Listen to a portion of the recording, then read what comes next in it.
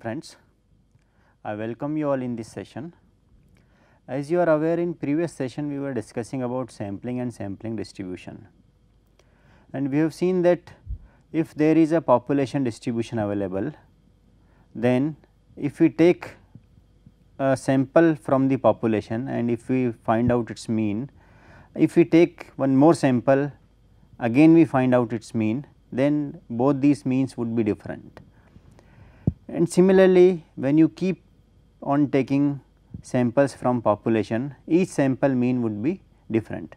So, when you draw distribution of these different sample means it becomes sampling distribution.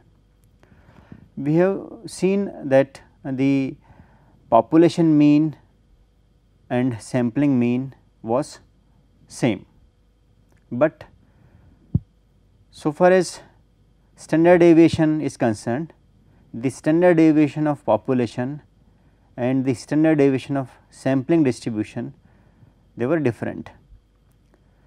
Uh, and there was a relationship as well between the uh, standard deviation of population distribution and, and uh, standard deviation which we call uh, the standard error in case of sampling distribution and the relationship was it was like this is not it uh,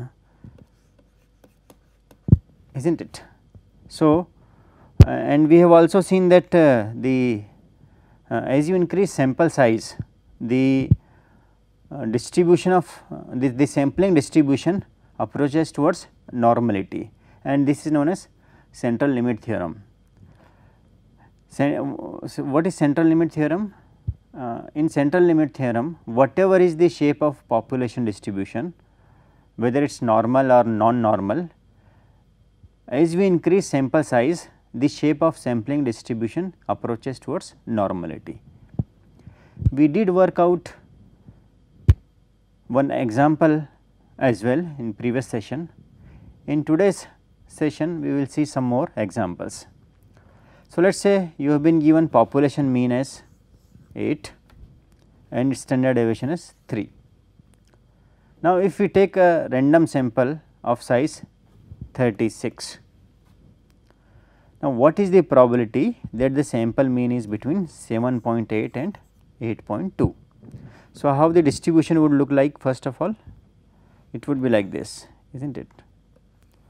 So, you have got this mean is 8 is not it, standard deviation is 3 is not it. Probability of sample mean between 7.8 and 8.2. So, let us say this is 7.8 and let us say this is 8.2 is not it. So, we need to calculate this area is not it. So, how to proceed for this first of all we should get z value right which is x x i minus mu is not it divided by sigma. So, x x 1 is 7.8 and x 2 is 8.2 is not it. So, let us find out z value and before z value you, you can calculate standard deviation as well for sampling distribution. So, this is the relationship between standard error of mean and population standard deviation and sample size. So, this value is 0.5. Let us look at this. So, for uh, we have to find out probability between x that is mean x bar varies between 7.8 to 8.2. So, this comes around minus 0.4 and plus 0.4. So, z is if you look at this your, your z scale this is now your z scale this is x scale this is x scale is not it this z scale. So, from mean this side it is minus 0.4 and this side it is plus 0.4. Now, let us look at the area under curve from mean to this we will let us look at what is this area. So, this 0.4 right z is equal to 0.4 is this is the one is not it 0.1554. So, this area is 0.1554. Similarly, z is equal to 4 towards right side again same area 0.1554. So, you, this is now again 0.1554. So, if you add these two it becomes 0.3108. So, the probability that the mean would be between 7.8 and 8.2 would is approximately 31 percent. Let us look at this question. In a sample of 25 observations from a normal distribution with mean is this, standard deviation is this taken. What is the probability that mean is between 92 to 102? Find the corresponding probability given n is equal to 36. So, we have changed n from 25 to 36. So, we have increased sample size. So, what would happen to the uh, standard error? It would reduce is not it. If you look at this formula then as we increase n this value would decrease is not it. So, how the distribution would look like for this? Mean is 98.6, standard deviation 17.2 and probability it is between 92 let us say this is 92 and this is 102. So, we need to calculate first of all z value from here to here, here to here and then this area and then this area and then we will add these two areas. Okay. So, let us look at this. So, when x is 92 so, x minus mu divided by 3.44 which is this because we have been given n is equal to 25 mu is equal to this and standard deviation is equal to this. So, this 3.44. So, z when x is 92 which is 1.92 and z when x is 102 which is 0.99. So, let let's let me redraw this z value. So, z mean is equal to 0 here z is minus 1.92 and here z is let us say 0.99 is not it. So, area from here to here z is equal to 0 to 1.92 right. So, 1.92. So, this is 1.9 and 2 is this 0.4725. So, this area is 0.4725. What about this area? What about this area? Again z from here to 0.99 right. So, this 0.9 is this 0.99 is this 0.3810 this is here right? 0.3889 uh, this is the area. And the first one was 0.4726 right? This is the one is not it? And this the one. So, add these two areas you will get this value is approximately 81 percentage.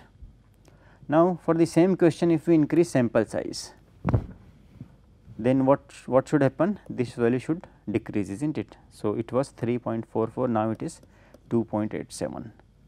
We will calculate again z values. So, for z values would be it is 2.3. Now, if you look at this particular table Uh, values from here to right hand side all these are positive values and left hand side negative value.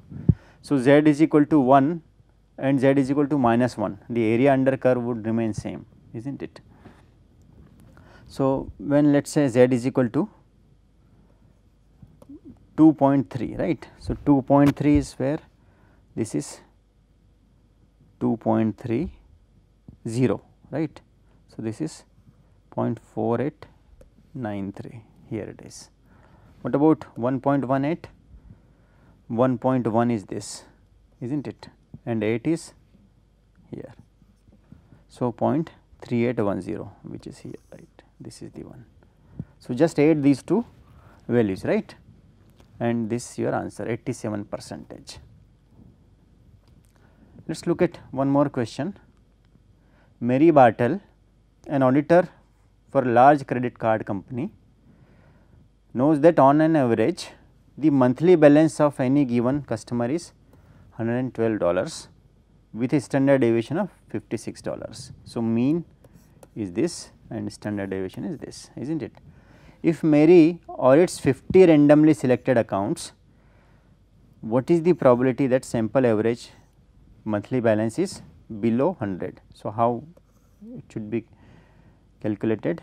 So, this is your distribution right mean is 112 standard deviation is 56 is not it and we have to see whether it is below 100. So, this is 100 right. Now, we have to see below 100 means which area should we calculate this area or this area. Just read the question carefully it is below 100 right. So, this is your 100 point right this is your 100. So, all this area which is below 100. So, we need this particular area right. Okay. So, how to do it? How to solve this question? First convert it into z value. So, this x minus x bar right. So, 100 minus 112 divided by 56 is not it. So, you will get some negative value of z and for this we will see this second part little later. So, part A, so first of all calculate standard error which is 7.92 okay. and uh, z value is now 1.52 minus 1.52. So, let us look at what is that area. So, the area which would we would be getting is uh, let us look at minus 1.52. So, 1.5 and this is 2.4357. So, what is this area? This area is let me draw distribution.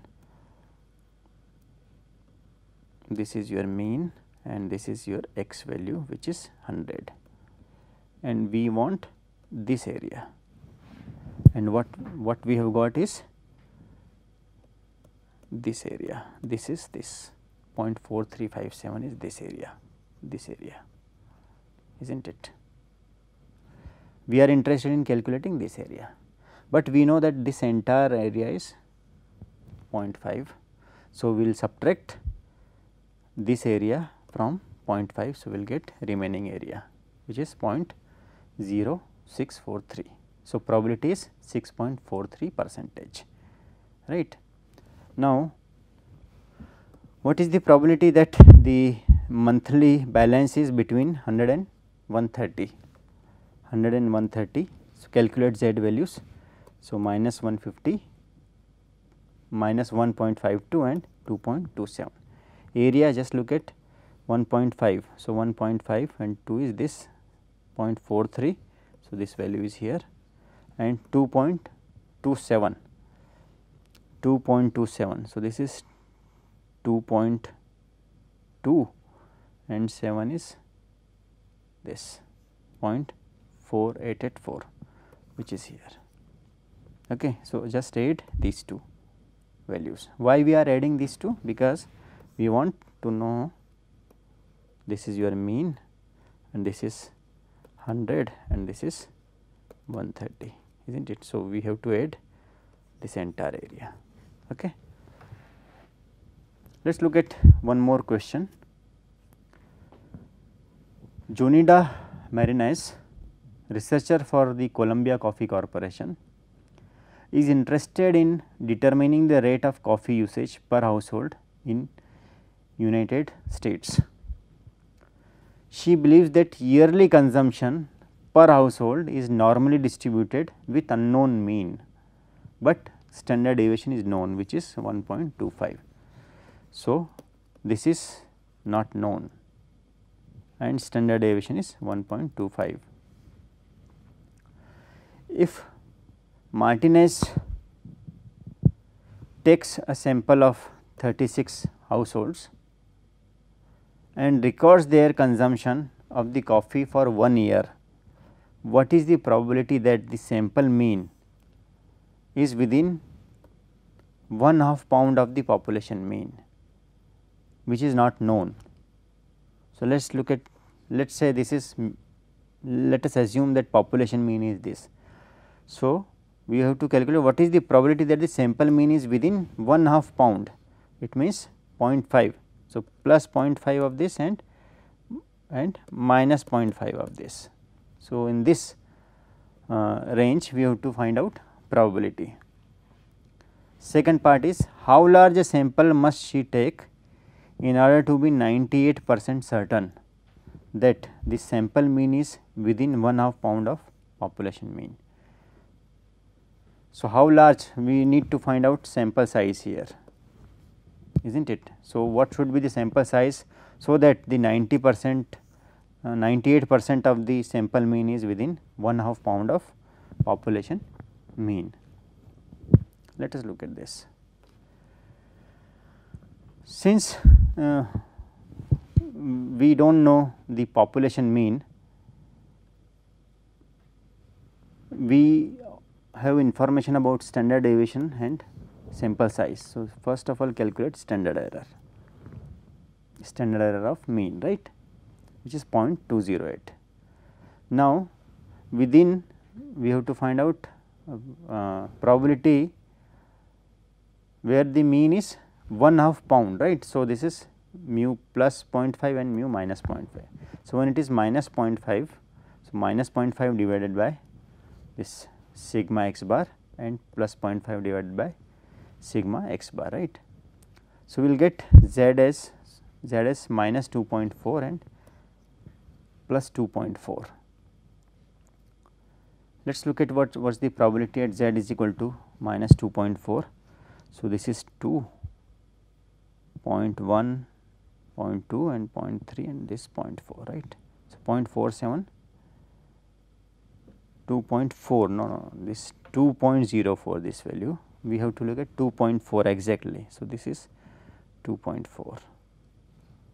So, this value is here is not it 0.4918. 2.4 positive side same value. So, you just add these two is not it. Now, the second part is how large a sample must she take in order to be 98 percent confident that the sample mean is within one half pound of the population mean. So, we know that this value is 98 percent. Now, since this value is known and this is already known from this equation. So, we you just calculate the value of n. So, 2.33 and when you solve this question for n it becomes 33.93. So, as good as 34 right. So, this, the, these are couple of examples on sampling distribution. Now, let us look at uh, extension of sampling distribution and we will work out a couple of examples wherein uh, we have been given the probabilities and we need to find out the interval around mean. Till now what we were given? We were given intervals and we were found we were finding probabilities, but here the probabilities are given right. So, determining determining an interval including a fixed proportion of sample mean. Let us look at this example. Find a symmetrically distributed interval around mean that will contain 95 percent of the sample means. So, mean is 368, standard deviation is this and sample size is 30, 25. So, what we have to calculate? Here we have to calculate the uh, upper and lower limit within uh, within 95 percent of confidence level. Okay. So, let us look at this since interval is 95 percent. So, the uh, remaining area is 5 percent. So, if you look at the 5 percent, so it is it's in, in lower tail it is 2.5 percent and in upper tail it is 2.5 percent. Now, from uh, z score table we can calculate what is the uh, value of z when certain probabilities are given. So, let us look at this. So, wha what we are saying in here is this is your mean let us say this is your mean okay, and this is your 95 percent area. Okay. So, this is 95 percent or 0.95. This side is 2.5 percent and this 2.5 percent is not it. So, this becomes 100 percent or 1. Now, when this area is 0.95 this entire what is this area 50 percent of this is 0.475 is not it. Now, let us look at what is the value of z. So, just divide this by 2 you will get 0.475 right. Now, look at this table look at this z table and see where that area is 0.475. Let us look at this 0.475, 0.47, 0.47 yeah here it is right 0.475 points this 0.474 this 0.475 is not it. So, what is the value of z 1.96 right this is 6 and this is 1.9 1.9 is here is not it. So, till now what we were doing we used to have z values and we were finding probabilities. Now, in this case we have probability and we are finding z value right. So, z is 1.96. Okay. So, this how you can calculate z value from z table right. So, lower limit is equal to mu plus this and upper limit is this actually this is this is minus mu minus. Okay. So,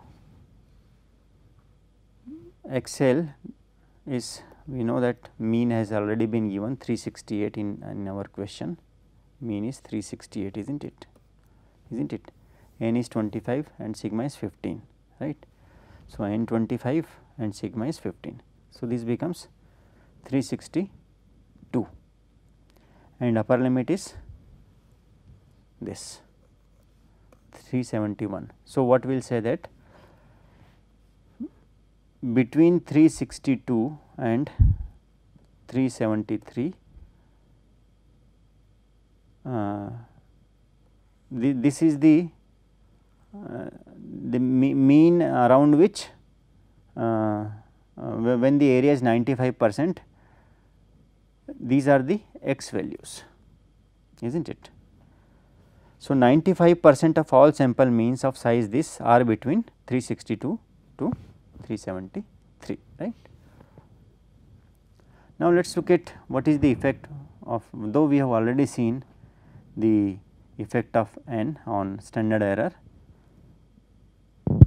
So, let us look at this when n is equal to 25 standard error is 3, but when we increase n then our standard error decreases right this is the relationship.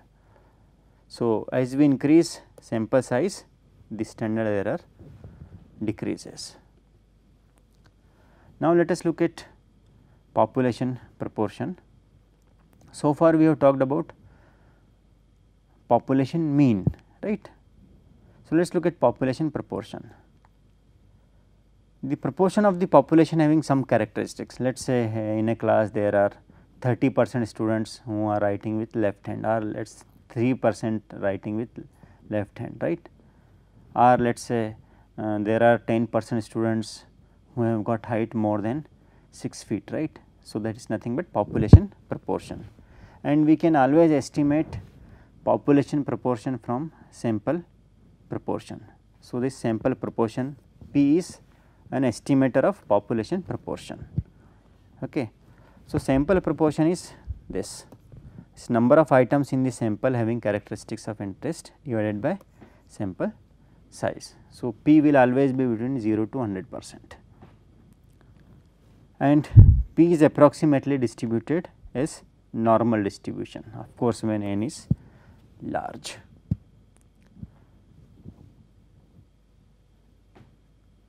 So, sampling distribution of P earlier we have seen the sampling distribution of mean here sampling distribution of proportion. So, this is sampling distribution of proportion it is a normal distribution right similar to the sampling distribution of mean. Now, if you look at approximated by normal distribution.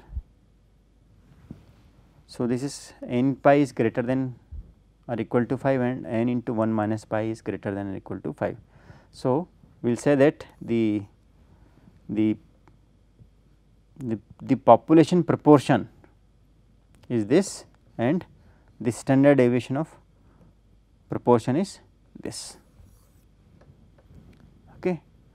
So, almost relationship is same here it is also uh, how, however, it is uh, denominator it is n is not it in, in case of this what it was it was sigma by root n is not it, but here it is n right and this whole under root. So, the value of z can be determined in a way in which we determine the value of z for means right. So, z is equal to p minus pi divided by sigma p right and we are we know that sigma p is this is not it. So, let us work out an example if the true proportion of voters who support a proposition A is 40 percent right. So, we are saying that in a population uh, there are 40 percent people who are supporting to let us say a candidate A. What is the probability of what is the probability that a sample of size 200 what is the probability that a sample of, of size 200 yields a sample proportion between 40 to 45 percent. So, here population proportion is known. You have been given the p values. Let us call it p 1 and p 2 just like we have seen earlier x 1 and x 2. So, first of all calculate z value and before that z even you should calculate sigma p right are the standard deviation of proportion. So, standard deviation of proportion is 0.034. Now, you are supposed to convert it into z value right. So, when small p is 0.4 right when p when p is 0.4 this is your z value 0 because pi is 4 right now, when p is 0.45, z value is 1.44. So, you should look at how would you draw this curve, what we what what which area we want to find out. This is 0 and this is 1.44. So, we are interested in this area. Now, this can be calculated by looking at table. So, what it was 1.44 right. So, 1.4 is this and 4 4 is this. So, 0.4251. So, we will say that this is the probability for p ranging between 0.4 to 0.45. So, in today's session we have seen how to how to solve questions related to proportion as well as population mean. In next class we will discuss some more points related to sampling and sampling distribution. Thank you.